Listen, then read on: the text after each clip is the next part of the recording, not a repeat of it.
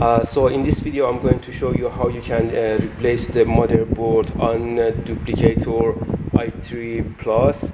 And for that uh, you need to uh, remove and unscrew the bolts on the bottom of the printer and uh, which I, I already did that. So then you have to remove the the bottom plate or cover. And what I do or what you need to do for first. This is my way. Uh, I just try to use my phone to take a picture of the motherboard in case uh, just to remember uh, which uh, cable where I have to plug the cables when I want to replace the new board. So uh, this is one way you can uh, use your phone to take a picture of the motherboard and the cables before you disassemble it and my other way uh, which makes me feel more secure is uh, each cable when I uh, remove each cable then I use a tape or I use a sticker write on it I write on it the name uh, of the cable and then remove it. For example this one is uh, Y-min then I here I have I have uh,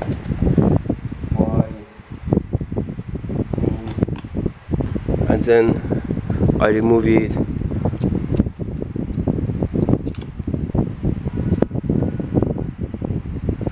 and then here I have Z-min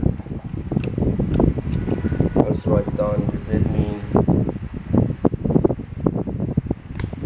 and when I replace the new board then I wouldn't be that worried uh, which cable is for here.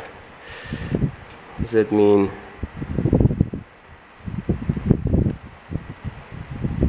and here I have a print bed thermistor they're glued actually so you have to be careful. Alright B10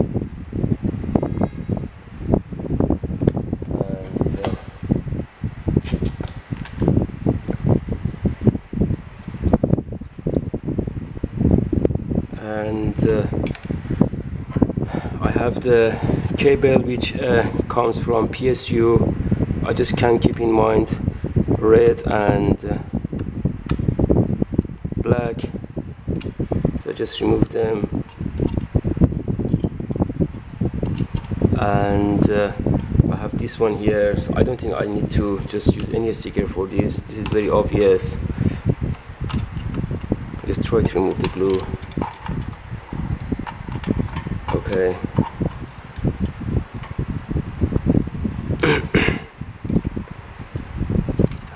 try to and here we have like bunch of cables here for stepper motors uh, Z2, Z1, Y and X so I think just write it down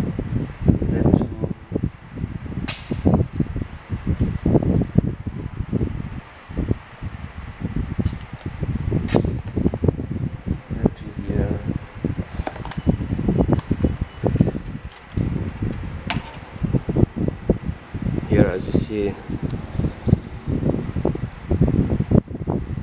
and Z1 here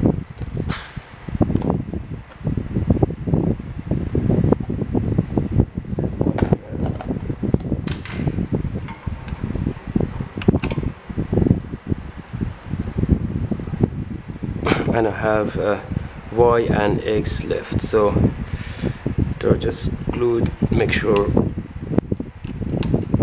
okay that is why that is why and uh,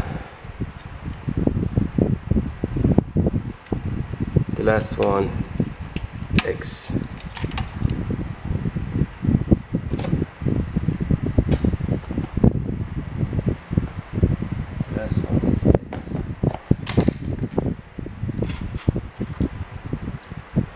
And I'm good now.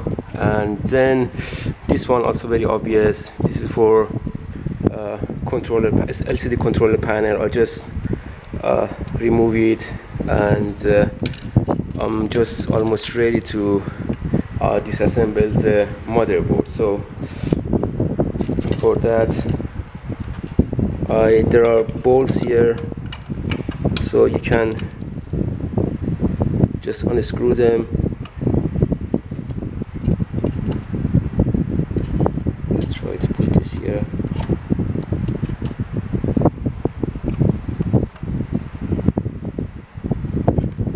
and I remove it easily and just make sure you keep the washer safe and uh,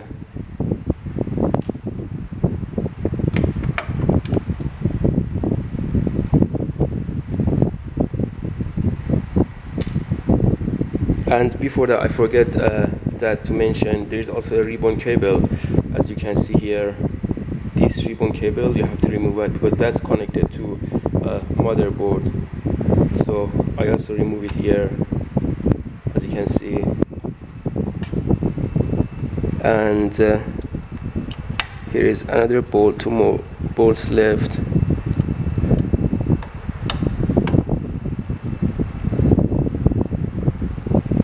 Here and uh, here. The last one. So all right and I remove it. And the time I receive the new one then I just replace it. I, I'm using the same one just in case you, you, you get the new one then you can use that. So again you can put it back. And one by one just uh, screw the bolts. And again forget about the washers right here. So put the motherboard inside.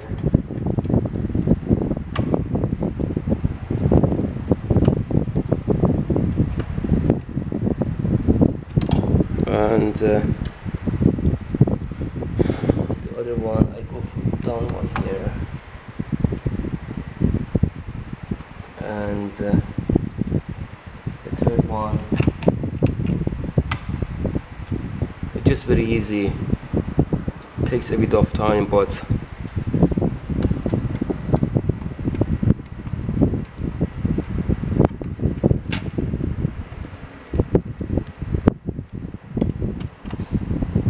alright and uh, I think I can go for the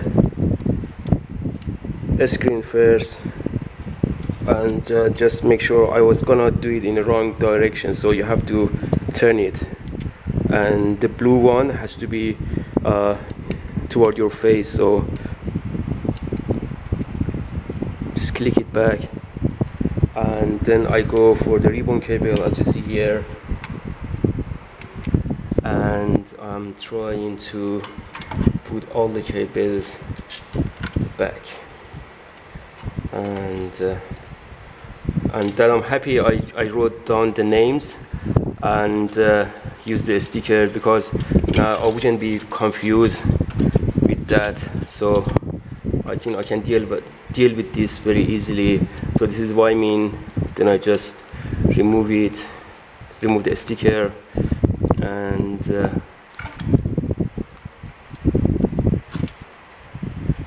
trying to put it back just plug it back and uh, the other one is as I see here is Z-min right here. And of course they have the colors. That that's another way you can uh, identify them. But I'm sure this way makes uh, your way more easier.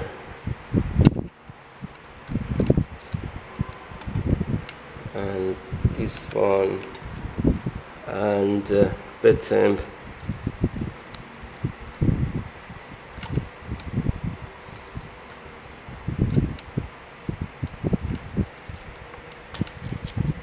you can plug this one as well.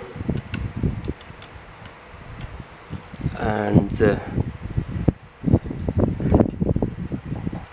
the heat bed as you remember red and black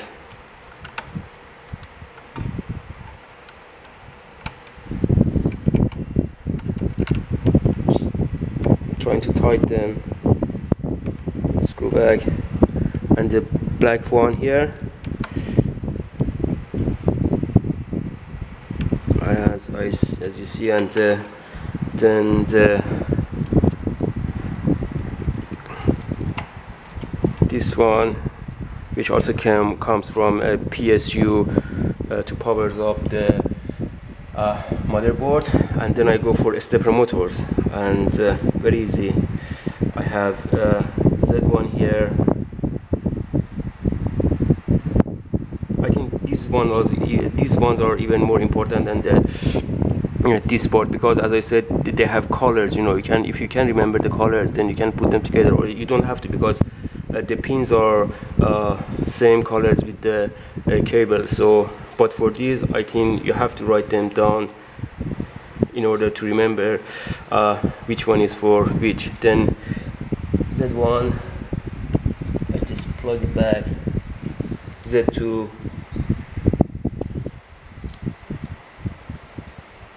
again goes here. And uh, I have uh, Y here. That's pretty easy. I have the Y here and uh,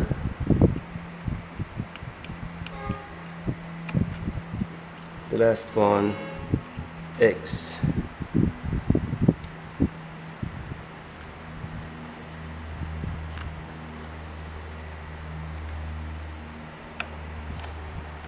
alright that's all. And then I put the bottom cover back and just tighten the and then put back the screws. One two three uh, four five six of them. Thanks for watching